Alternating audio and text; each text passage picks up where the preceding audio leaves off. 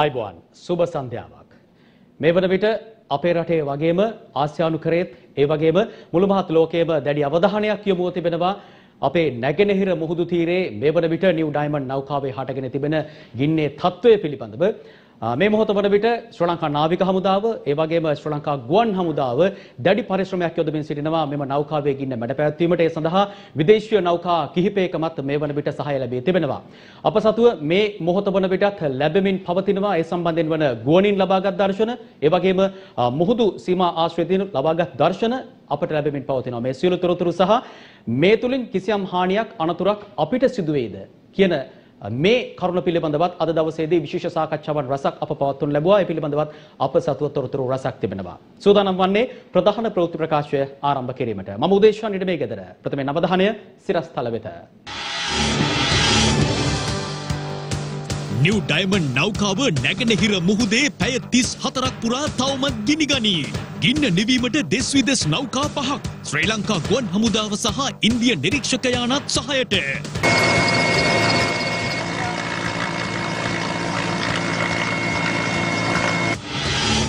නෞකාව දකුණු මුහුදු තීරය වෙත පාවෙමින් ශ්‍රී ලංකා වෙරළ තීරයට නාවික සැතපුම් විසි දෙකක් දක්වා ළඟාවෙයි. නැව පිපිරීමකට ලක්වීමේ හෝ ඉන්දන කාන්දුවීමේ තවමත් අවධානමක් නැහැ. ඕනෑම තත්ත්වයකට සූදානම් යුද හමුදාපති කියයි.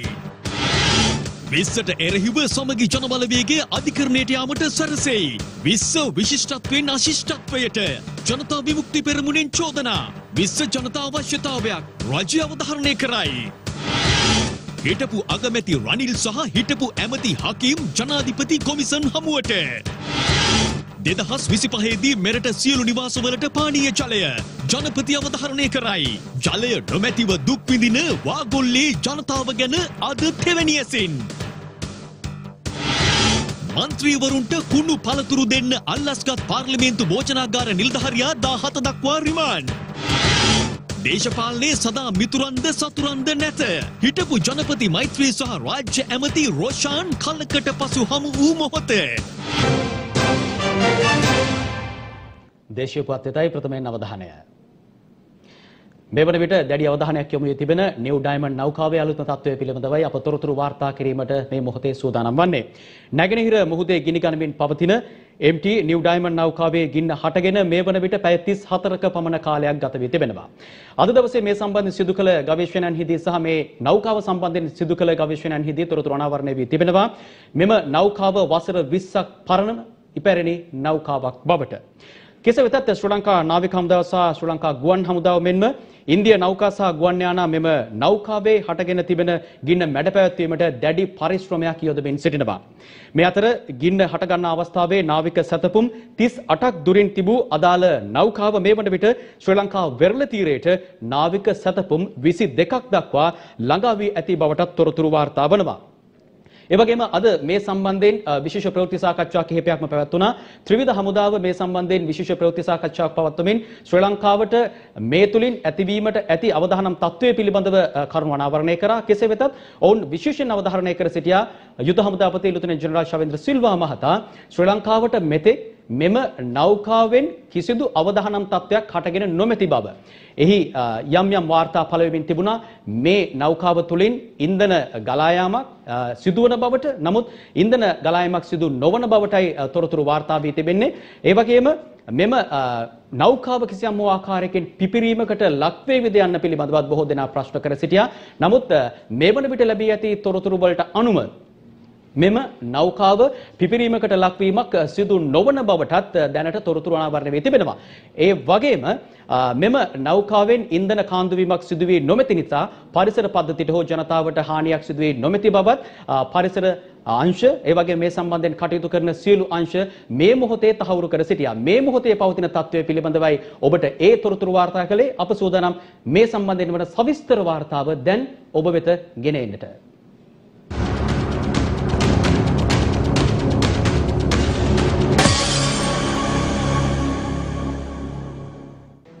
ලංකාවට වගේම ඉන්දිය සාගර කලාපයේ රටවල් බොහෝමයක් තැති ගැනීමට ලක් කළ MT නිව් ඩයමන්ඩ් නෞකාවයකින් මේ මොහොත වනතෙක් සම්පූර්ණයෙන්ම වැඩ පැවැත්වීමට හැකි වී නැහැ.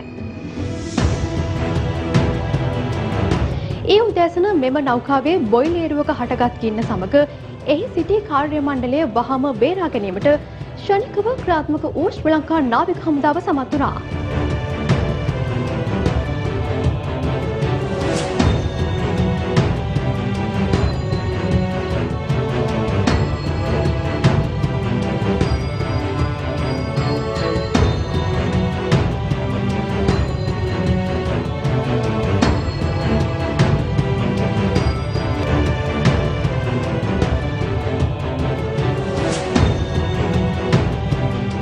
ඒ අනුව මෙම නෞකාවේ සිටි විසි දෙදෙනුගේ ජීවිත බේරා ගැනීමට නාවික හමුදාව සමත් වී තිබුණා.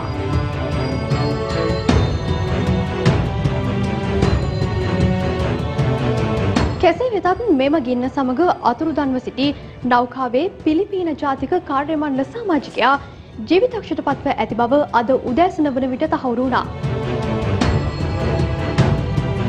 ඊයේ රාත්‍රිය පුරාමත් නෞකාවේ පැතිර යමින් පවතින ගින්න නිවා දමන්නට නාවික හමුදාව සහ ශ්‍රී ලංකා ගුවන් හමුදාව මහත් පරිශ්‍රමයක් දැරූ අතර ඊට නොමත සහයක් ඉන්දිය නෞකාවක් හා රුසියානු නෞකා දෙකක් ලබා දුන්නා.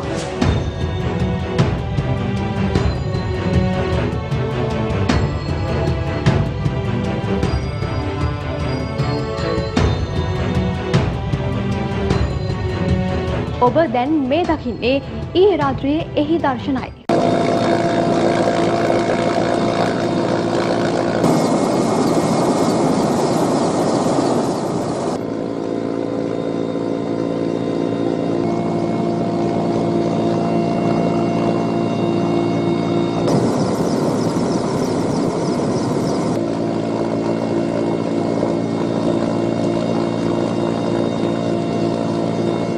අද උදෑසන වන විට වාර්තා වුණේ නාවික සැතපුම් 38ක් දුරින් තිබූ මෙම නෞකාව රළ පහර සහ සුළං වේගය මත ශ්‍රී ලංකා වෙරළ තීරයට නාවික සැතපුම් 22ක් තරම් වූ ආසන්නයට පැමිණ ඇති බවයි.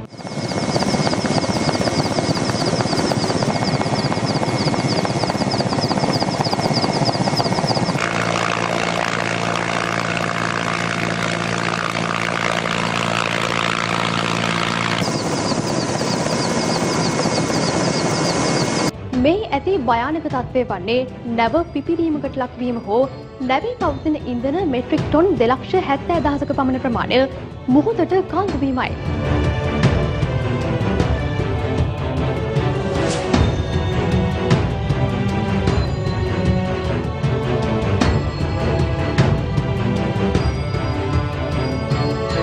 නමුත් එවැනි අවාසනාවන්ත තත්ත්වයක් මෙතෙක වාර්තා වී නොමැති බව සම්ප්‍රිය පරිසන ආරක්ෂණ අධිකාරිය පවසනවා. කෙසේ වෙතත් නෞකාවේ එන්ජින් කාමරය තුළ පිපිරීම් තුනක් සිදුව ඇති අතර ඉන්දිය වෙරලාරක්ෂක බලකාය විසින් පිටසටහනක්ද තබමින් සඳහන් කර තිබුණේ අදාළ නෞකාවේ බඳ කොටසේ ඉරි තැලීමක් සිදුව ඇති බවයි.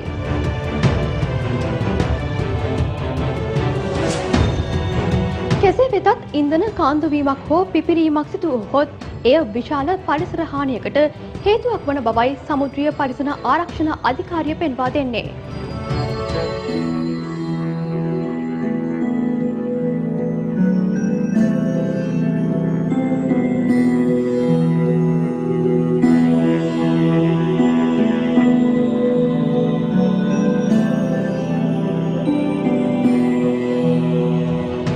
නෞකාවක් අනතුරට පත්වීම කියන්නේ මහා පාරිසරික විනාශයක්.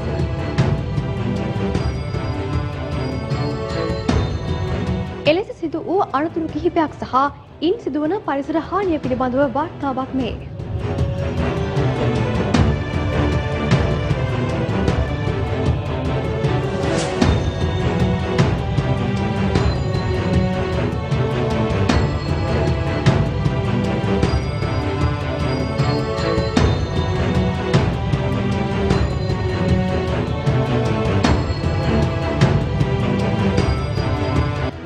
තත්ත්වය සම්බන්ධයෙන් දැනුවත් කිරීමේ විශේෂ ප්‍රවෘත්ති සාකච්ඡාවක්.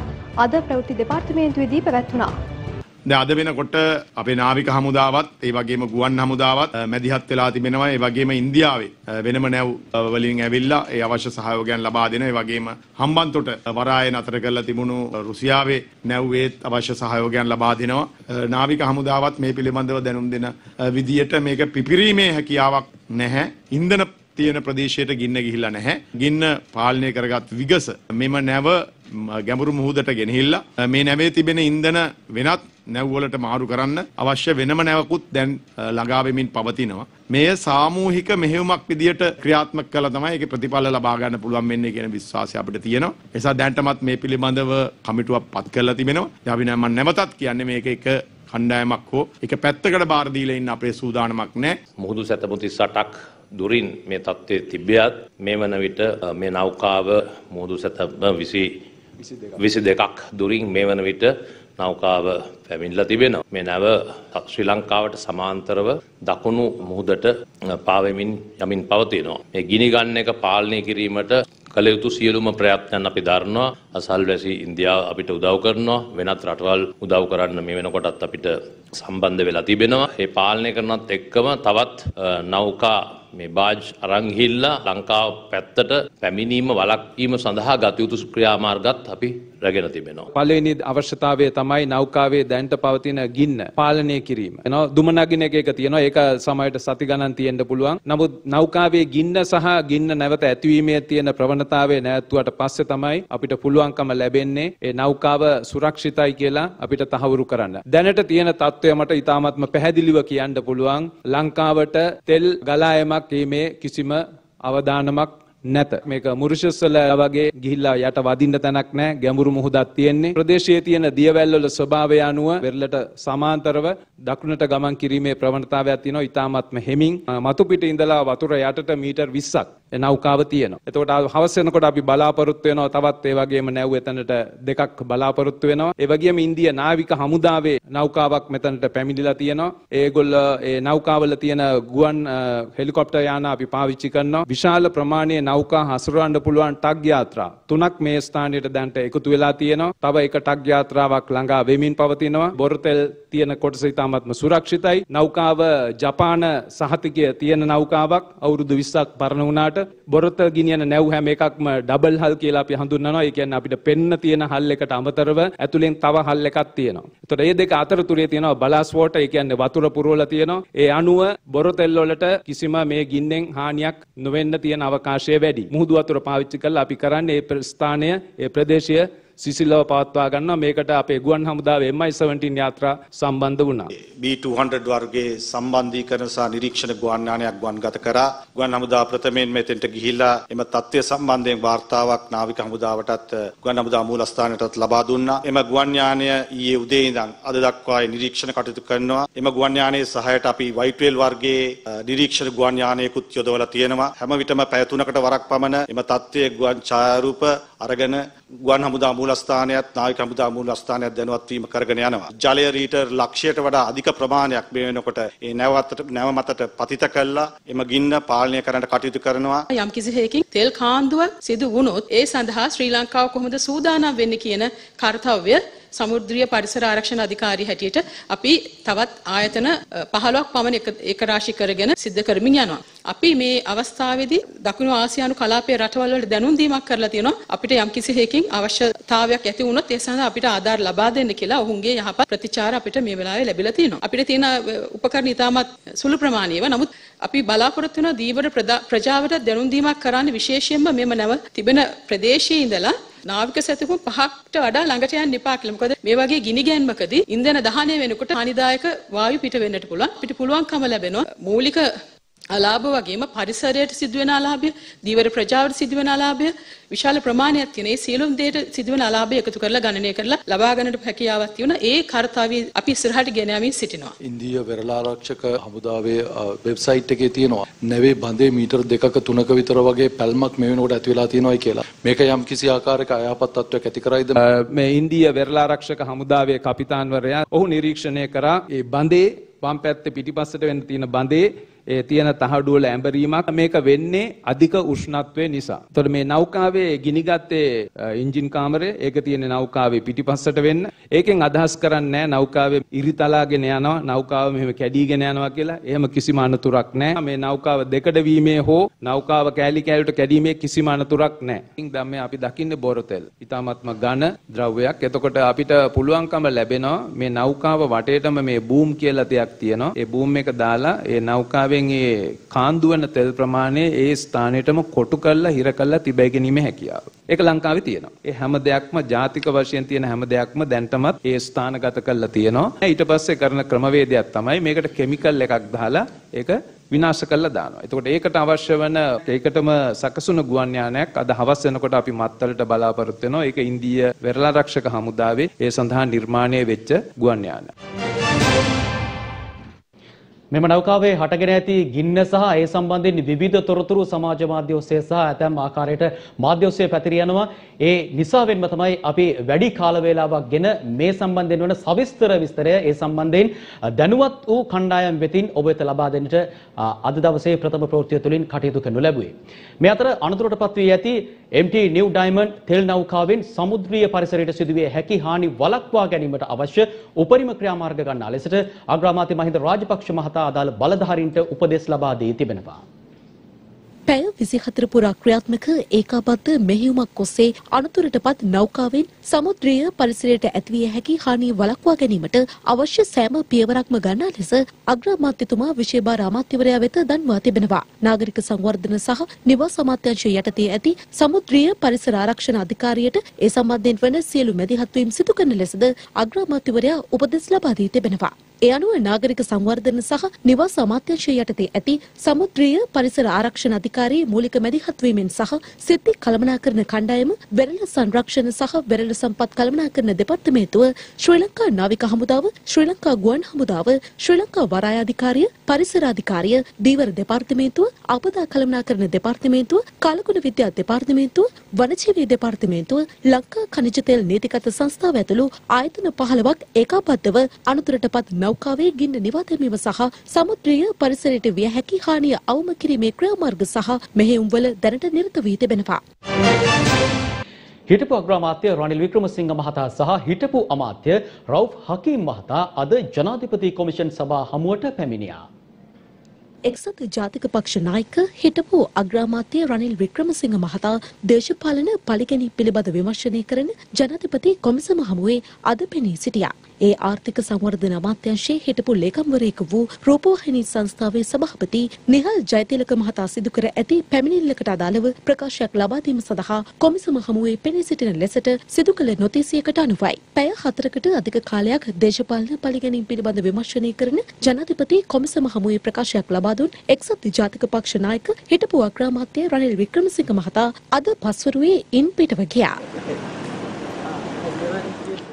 මේ අතර ශ්‍රී ලංකා මුස්ලිම් කොංග්‍රසයේ නායක පාර්ලිමේන්තු මන්ත්‍රී රවුෆ් හකීම් මහතා පාස්කු ප්‍රහාරය පිළිබඳ සොයා බැලෙන ජනාධිපති කොමිසමේ පොලිස් ඒකකයට පැමිණියා. ඒ පාස්කු ප්‍රහාරය සම්බන්ධයෙන් සිදු කරන විමර්ශනවලට අදාළව ප්‍රකාශයක් ලබා දීම සඳහායි. පැය පහක ප්‍රශ්න කිරීමෙන් අනතුරුව මන්ත්‍රීවරයා මාධ්‍ය වෙත මෙලෙස අදහස් පළ කළා. සහරාන්ගේ ප්‍රහාරයත් අපිට වළක්ව ගන්න පුළුවන්කමක් තිබුණා. බුද්ධ්‍යංශය මම අද මගේ ප්‍රකාශය කියලා සිටියා.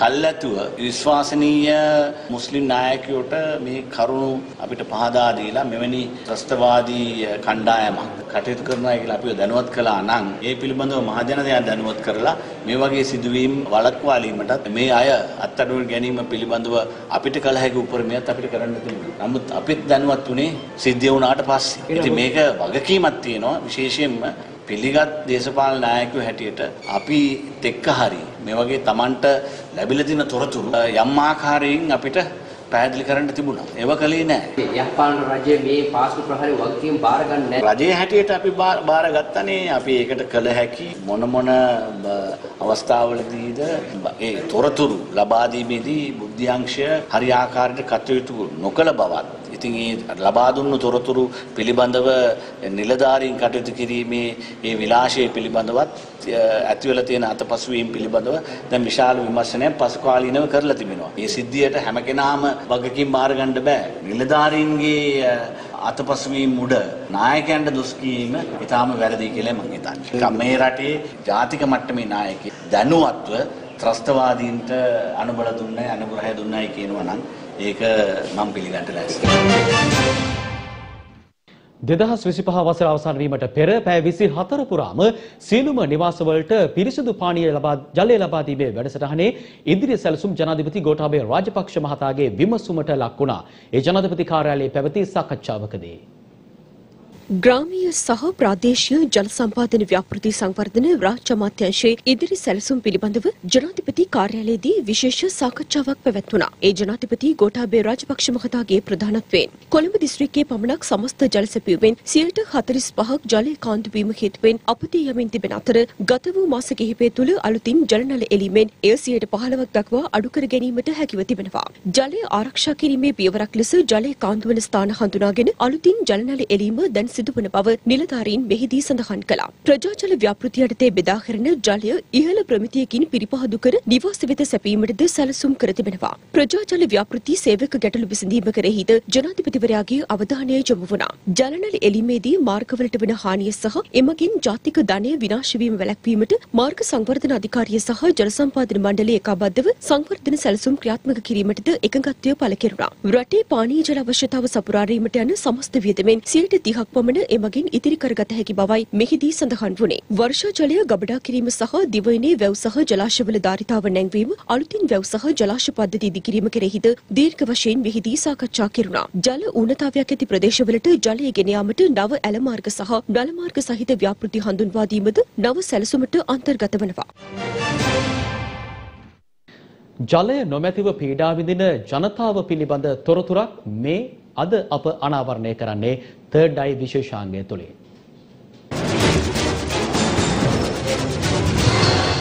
Third Eye. සොබා දහමේ අපූර්ව දායාදයක් වූ ජලය මානව වර්ගයා ප්‍රමුඛ ජීවී ලෝකයේම පැවැත්ම තීරණය කරන අමිල සම්පතක්. ඇතමෙකුට නිරායාසයෙන් ලැබෙන ජල සම්පතේ අගය නොවැටහුණත් රිදීගම වාගොල්ල ගම්මානයේ ජනතාව වසර ගණනක් තිස්සේ පීඩාවට ලක්ව සිටින්නේ පානීය ජල අර්බුදය හේතුවෙන්. පවුල් හතලිහක් පමණ ජීවත්වන වාගොල්ල ගම්මානය ගල් තලාවක් මත පිහිටීම හේතුවෙන් ස්වාභාවික ජල උල්පත් කිසිවක් නොමැති බවයි ගම්වාසින් පවසන්නේ.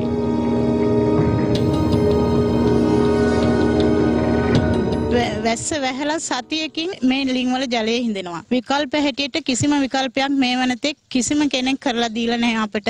අපේ මේ ගමට මේ ජල සම්පාදනයේ ඉඳලා තියෙන්නේ මීටර් 500ක පමණ බොහෝම කෙටි දුරක්. වහලෙන් එන වතුර තමයි මේ බටේ දිග මේ ටැංකියට ඇවිල්ලා මේ පිරෙන්නේ. එතකොට තමයි අපි ඉතින් වතුර ගන්න. වහිනකොට විතරයි ඒත් තියෙන්නේ අපට. ගම්මානයේ ජීවත්වන පන්සියකට ආසන්න පිරිසකට සිය ජල අවශ්‍යතාවය ඉටු කර ගැනීම වෙනුවෙන් ගම්මානයේ ඉදිකර ඇති එකම ජල කරාමය වෙත උදේ සවස පැමිණෙන ආකාරය අප කැමරාවේ මෙලෙස සටහන් වුණා.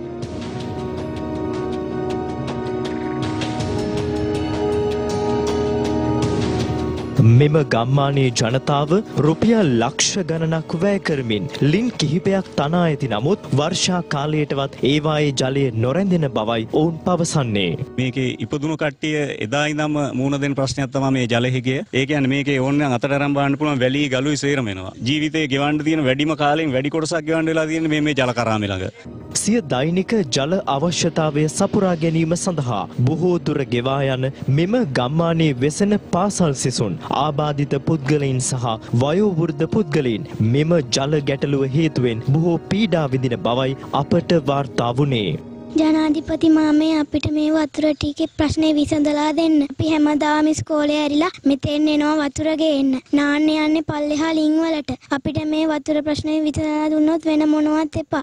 කරන්ට් එක නැත්තම් මේ ලයින් එකේ වතුර එන්නේ නැහැ. අය එන්නේ 10ට විතර යනකොට මේ පොඩි බබාලත් අරන් ඇවිල්ලා අවුවේ යන්නේ ළමයිනුත් අරගෙන විල්බැරෝ වල අවුවේ වඩාගෙන ළමයිනුත් දුක් විඳිනවා කියන්නේ කොහොම හරි කරලා වතුර ටික ලබා දෙන්න කියලා. වාගොල්ල ගම්මානයේ ජනතාව මුහුණ දෙන ජල ගැටලුව තවදුරටත් ජන ගැටලුවක් බවට පත් නොකොට නිසි විසඳුම් ලබා දෙන තෙක් සියත තර්ඩ්ඩයි නිරන්තර අවධානයෙන්.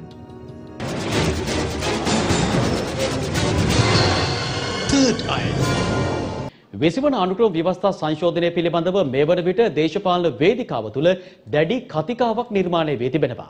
මේ සම්බන්ධයෙන් විපක්ෂයෙන් දැඩි චෝදනා එල්ලවන පසුබිමක් තුළ ආණ්ඩුපක්ෂයේ නියෝජනය කරන අමාත්‍යවරුන් පෙන්වා දෙන්නේ 19 වන ව්‍යවස්ථා සංශෝධනයේ තිබූ අඩුපාඩු ඉවත් කිරීමට විසිවන සංශෝධනය ගෙන ආ බවයි. යෝජිත විසිවන ආණ්ඩුක්‍රම ව්‍යවස්ථා සංශෝධන කෙටුම්පත සඳහා අමාත්‍ය මණ්ඩල අනුමැතිය හිමිවීමෙන් පසු විසිවන සංශෝධනය ගැසට් පත්‍රයක් මගින් ඊයේ පස්වරුවේ ප්‍රකාශයට පත් කෙරුණා. 19 වන ආණ්ඩුක්‍රම ව්‍යවස්ථා සංශෝධනයෙන් ගෙන ජනාධිපතිවරයාගේ දුර කාලය දුරය දැරිය හැකි වාර ගණන සහ තොරතුරු දැනගැනීමේ පනත යන කරුණු හැර අනෙකුත් සියලු කරුණු මෙමගින් සංශෝධනය කර තිබෙනවා. විසිවන සංශෝධනයට අන්තර්ගතව ඇති කරුණු වලට අනුව ජනාධිපතිවරයාට එරෙහිව අධිකරණ ක්‍රියාමාර්ග ගත නොහැකි යන වගන්තිය ඇතුළත් කර තිබෙනවා. ජනාධිපතිවරයා සිය කාර්යයන් සම්බන්ධයෙන් පාර්ලිමේන්තුවට වගකිව යුතු බවද එහි සඳහන් වනවා. යුද්ධය ප්‍රකාශ කිරීමට හෝ සාමය ප්‍රකාශ කිරීමට බලය පැවරෙන්නේ ජනාධිපතිවරයාටයි. එමෙන්ම කොමිෂන් සභාපත් කිරීමේ බලය ජනාධිපතිවරයාට පැවරෙන අතර පාර්ලිමේන්තුව වසරකින් විසිරුවා හැරීමේ බලයද හිමි වනවා. ජනාධිපතිවරණයට ඉදිරිපත් විය හැකි වයස් සීමාව අවුරුදු 30 දක්වා අඩු කෙරෙන අතර අමාත්‍ය දුර දැරීම සහ පවරා ගැනීමේ බලයත් ජනාධිපතිවරයා සතු වනවා. මැතිවරණ කොමිසම ඇතුළු යෝජනා කර ඇති කොමිෂන් සභාවල සභාපතිවරුන් සහ සමාජිකින් පත් කිරීමේ බලය හිමිවන්නේද ජනාධිපතිවරයාටයි. ද්විත්ව පුරවැසි භාවයලත් අයෙකුට මැතිවරණ වලට තරඟ කළ හැකි බවත් යෝජනා වී තිබෙනවා.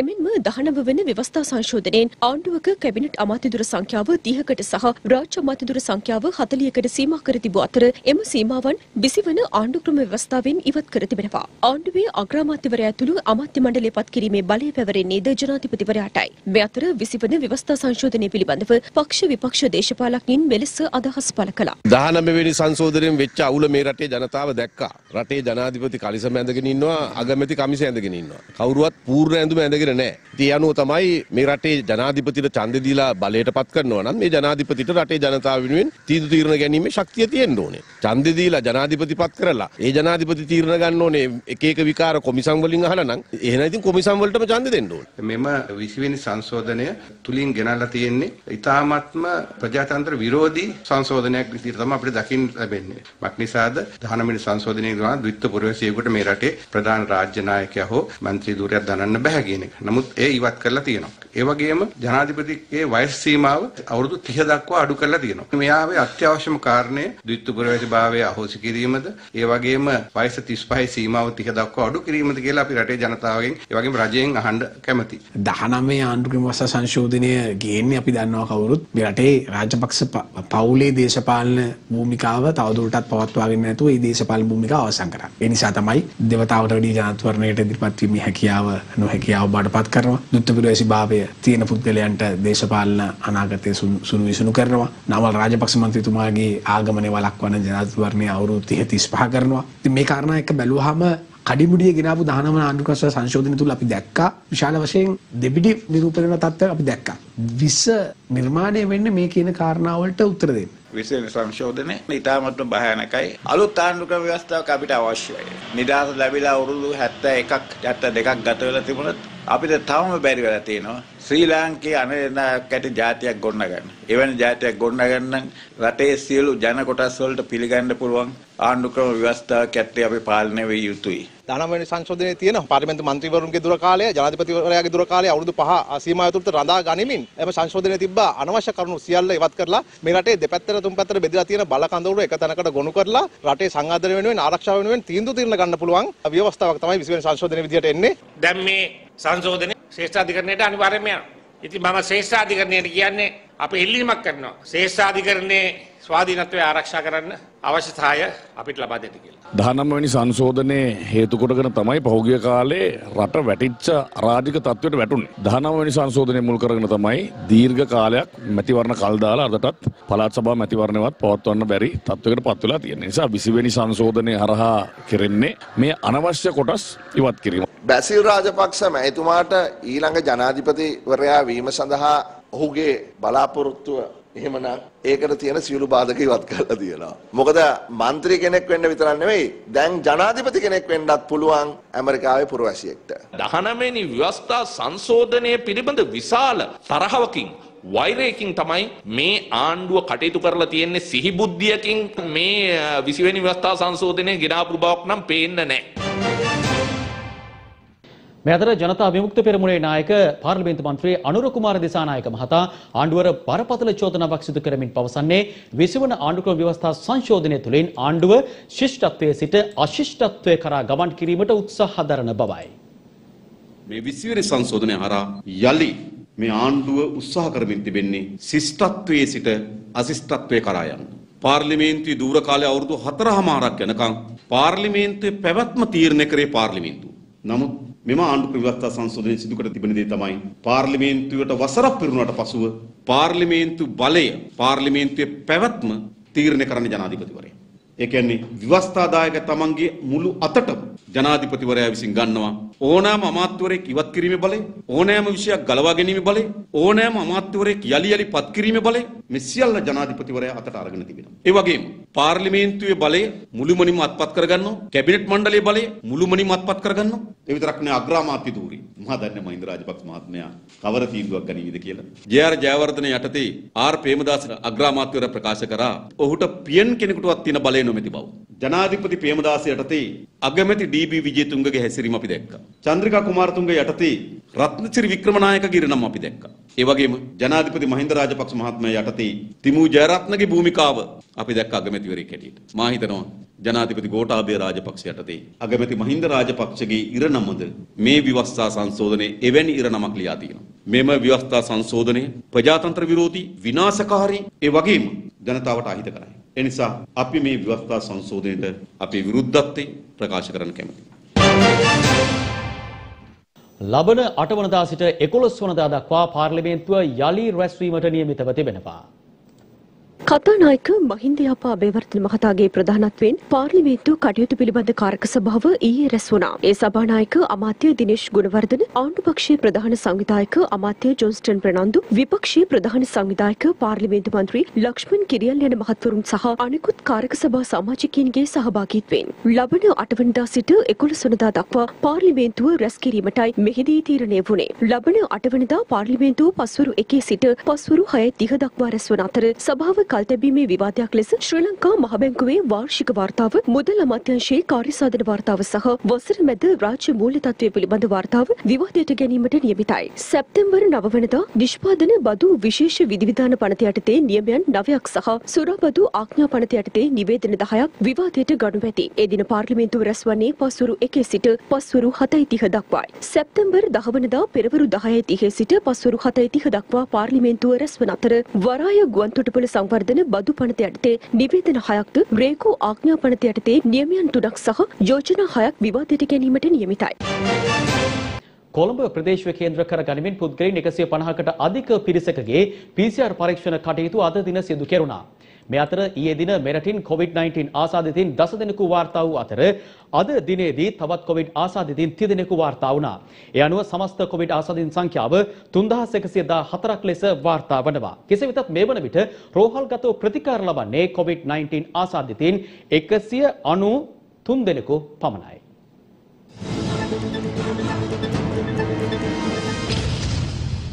ඊයේ දිනේදී නව ආසාදිතයින් දස දෙනෙකු මෙරටින් හඳුනා ගැනීමට හැකි වුණා. එම පුද්ගලයන් දස දෙනාම විදේශයන්හි සිට මෙරටට පැමිණි පුද්ගලයන් බවයි වසංගත රෝග විද්‍යාංශය සඳහන් කළේ.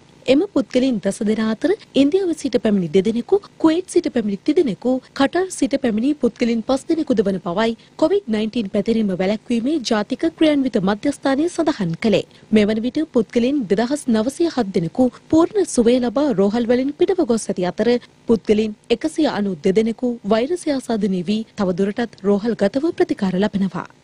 මේ අතර කොළඹ හතර බම්බලපිටිය ප්‍රදේශීය ආශ්‍රිත ඉදිකිරීම් වැඩබීම් සහ ව්‍යාපාරික ස්ථානවල තෝරාගත් අහඹු පුද්ගලයන් 150කට ආසන්න පිරිසකගේ PCR පරීක්ෂණ කටයුතු සිදු කිරීම අද දින සිදු වුණා. කොළඹ මහනගර සභාවේ ජන සෞඛ්‍ය දෙපාර්තමේන්තුවේ වසංගත විද්‍යාංශය මගින් මෙම PCR පරීක්ෂණ කටයුතු අද දින සිදු කර තිබෙනවා. දැන් අධිකරණයෙන් වාර්තා වූ පුවත් කිහිපයක් වෙතයි අවධානය. පාර්ලිමේන්තුවට පළතුරු සපයන පුද්ගලයෙකුගෙන් රුපියල් 60000ක අල්ලසක් ලබා ගැනීමේදී අත්අඩංගුවටගත් පාර්ලිමේන්තු භෝජනාගාරයේ සැපයුම් අංශයට අනියුක්ත භාණ්ඩ බාර ගැනීමේ නිලධාරියා ලබන 17 වනදා දක්වා රක්ෂිත බන්ධනාගාර ගත කරන ලෙස කොළඹ ප්‍රධාන මහේස්ත්‍රාත් ලංකා ජයරත්න මෙනවිය නියෝග කරනු ලැබුවා. අල්ලස් කොමිසම මගින් අත්අඩංගුවටගත් කඩුවෙල ප්‍රදේශයේ පදිංචි අංජන මාලිංග නැමැති මෙම පුද්ගලයා අද අධිකරණයට ඉදිරිපත් කර තිබූ අතර එහිදී ප්‍රධාන මහේස්ත්‍රාත්වරිය මෙම නියෝගය ලබා දී තිබුණා. අල්ලස් කොමිසම අධිකරණයට කරුණු ඉදිරිපත් කරමින් සඳහන් කළේ පාර්ලිමේන්තු භෝජනාගාරය සඳහා සැපයුම්කරුවෙකු විසින් සපයනු ලබන පරිභෝජනයට නුසුදුසු තත්ත්වයේ පවතින පළතුරු තොග ප්‍රතික්ෂේප නොකොට බාර ගැනීම සඳහා මෙම සැකකරු විසින් මාසිකව අල්ලස් වශයෙන් රුපියල් 30000 බැගින් මුදල් ඉල්ලා ඇති බවයි තොරතුරු අනාවරණය වුණේ. ඒ අනුව ඊට අල්ලස් වශයෙන් රුපියල් 60000ක මුදලක් ලබාගත් අවස්ථාවේදී අල්ලස් කොමිසමේ නිලධාරීන් විසින් මෙම සැකකරු අත්අඩංගුවට ගෙන තිබුණා. විමර්ශන කටයුතු අවසන් වී නොමැති බවට අල්ලස් කොමිසම විසින් සිදු කළ දැනුම් දීම පිළිගත් මහේෂ් රත්වරිය අදාළ සැකකරු ලබන 17 වනදා දක්වා රක්ෂිත බන්ධනාගාර ගත කිරීමට නියෝග කරනු ලැබුවා. මරණීය දණ්ඩනයට නියම වී සිටින පාර්ලිමේන්තු මන්ත්‍රී ප්‍රේමලාල් ජයසේකර නැමැත්තාට පාර්ලිමේන්තු රැස්වීම් වලට සහභාගී වීම සඳහා අවසර දෙන ලෙස බන්ධනාගාර කොමසාරිස් ජෙනරාල්වරයා වෙත නියෝගයක් නිකුත් කරන්නේද නැද්ද යන්න තීරණය ලබන සඳුදා ප්‍රකාශයට පත් කරන බව අභියාචනාධිකරණය අද නිවේදනය කළා. දෙදස් දහසය වසරේ සිදු කෙරුණු මහ බැංකු බැදුම් කර නිකුතු දෙකකදී රුපියල් බිලියන පනස් දෙකකට ආසන්න රජයේ මුදල් සාවද්‍ය ලෙස පරිහරණය කළේ යයි කියන සිද්ධිය සම්බන්ධයෙන් හිටපු මුදල් අමාත්‍ය රවි කරුණානායක මහතා ඇතුළු පිරිසක් අත්අඩංගුවට ගැනීම සඳහා නිකුත් කර තිබෙන වරෙන්තු ක්‍රියාත්මක කිරීම වළක්වාලමින් තහනම් නියෝගයක් නිකුත් කර පෙත්සම් වලට අදාළ විරෝධතා ඉදිරිපත් කිරීම සඳහා අභ්‍යාචනාධිකරණය විසින් මෙම මස 14 වනදා දක්වා නීතිපතිවරයාට කල් ලබා දී තිබෙනවා. දැන් රටවටා පුවත් කිහිපයක් වෙතයි අවධානය.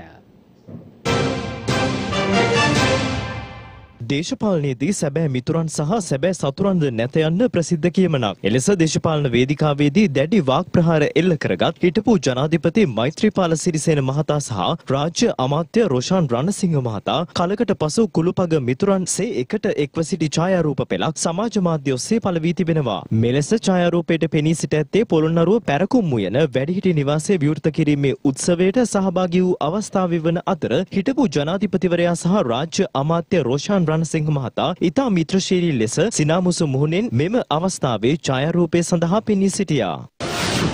වසර දහයකට අධික කාලයක සිට සබරගමුව මහසමන් දේවාලයේ අලියතුන් නෑවීමට භාවිත කළ කළුගඟ අසල තිබෙන උයන්වත්ත තොටුපොළෙහි පතල් කැනීම සිදු කිරීම හේතුවෙන් මේ වන විට වල් බිහි වී තිබෙනවා. පෙරහැර මංගල්‍ය සඳහා පැමිණෙන අලියතුන් නැහැවීම සඳහා නිසි ස්ථානයක් නොමැතිවීම හේතුවෙන් මේ වන විට සමන් දේවාල භූමියේ පිරිසුදු කිරීම කටයුතු කිරීමට සිදු වී තිබෙනවා. මෙය ඉතා අපහසු ක්‍රියාවක් බැවින් මේ සම්බන්ධයෙන් අදාළ බලධාරීන් අවධානය යොමු කර උයන්වත්ත තොටුපොළ නැවත ප්‍රතිසංස්කරණය කර දෙන ලෙස ප්‍රදේශ වාසීන් ඇතුළු දේවාල කාර්ය මණ්ඩලය ඉල්ලීමක් කර සිටිනවා.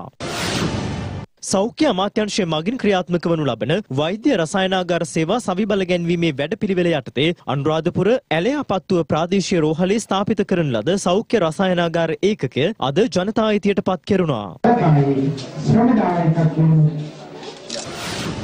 නෝවුඩ් පොලිස් වසමට අයත් කර්කස්පෝල් වතුයායේ විදුලි බලාගාරයේ සේවයෙන් යුතු පුද්ගලයෙකුගේ මලසිරුරක් එම වත්තේ ඇල මාර්ගයක තිබී නෝවුඩ් පොලිසිය විසින් සොයාගෙන තිබෙනවා. මෙලෙස මියගොස් ඇත්තේ 42 හැවිරිදි කර්කස්පෝල් වතුයායේ පදිංචි තිදරුපියෙක් බවයි පොලිසිය සඳහන් කළේ.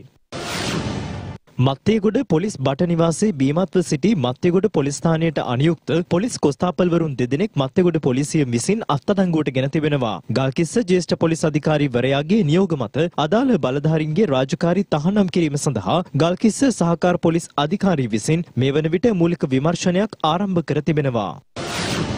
කැකිරාව නගරේ වෙළඳසල් සහ මගීන්ගෙන් මුදල් ඉල්ලමින් සිංගමනේ ගිය දෙදෙනෙක් කැකිරාව පොලිසිය විසින් අත්අඩංගුවට ගෙන තිබෙනවා. පසුව සිදු කළ පොලිස් පරීක්ෂණවලදී අනාවරණය වී ඇත්තේ මොවුන් ව්‍යාජ ලෙස මුදල් ඉල්ලමින් සිංගමනේ යන බවයි.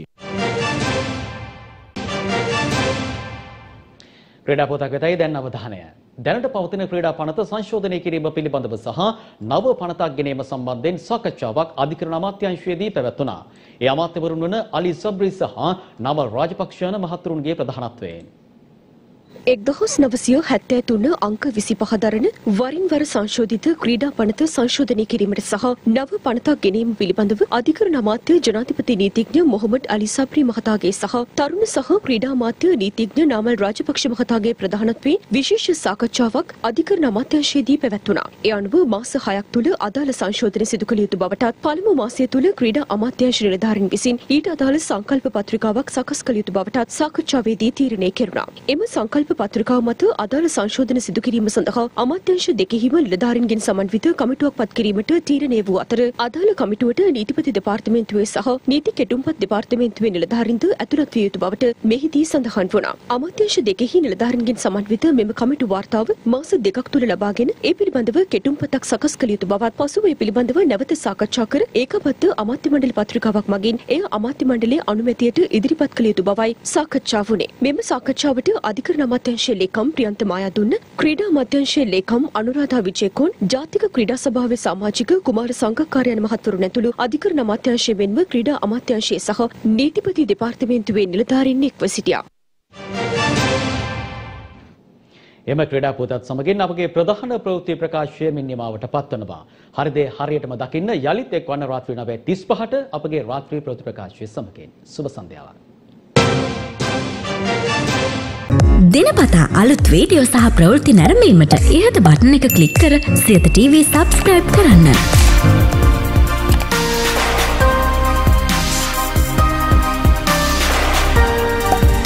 අලුත් වීඩියෝ ගැන මුලින්ම දැනගන්න මෙම සීනුව ක්ලික් කරන්න.